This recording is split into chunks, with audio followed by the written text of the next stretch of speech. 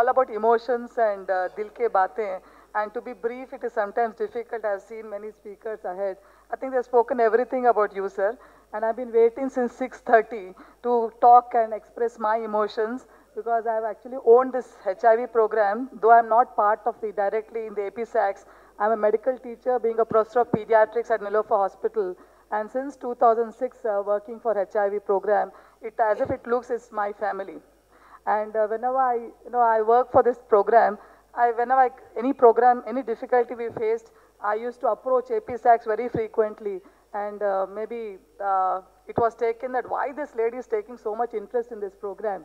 And I know when maybe nobody else was moving. But I had always faith, sir, that we keep on ask, at least our duty is to ask. And then uh, the power is with you, and you will decide what is best for the program. So whenever we, I came, sir, you had given a very positive response, and like all others, I also appreciate you were so approachable, accessible, and you understood the problems what we faced in our institute, and uh, we have, uh, you know, I assure you, sir, that the pediatric HIV program will move ahead, and with the support of all the CST and RCs here, we'll take it ahead, and there are so many ideas in my uh, this thing, and we'll take it as a role model, sir. And uh, you know, when Dayanand said that you are, he's flat on you, I was just commenting uh, with Emmanuel. See, this is gender bias, you know. Uh, I would also wish to say that. Uh, so that is there, sir. And uh, I'm also felt very happy to meet your daughter, Shruti, because she is part of our medical fraternity, Swati. Yeah.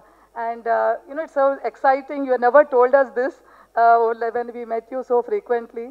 And we wish you all the best, and we'll be still connected through you at least uh, with sir. And we wish to see you, sir, in more, much more uh, opportunities to work with you in future. And thank you. I salute you, sir. And I want to place on record the love and affection uh, from the Pediatric Center of Excellence, Niloufer Hospital.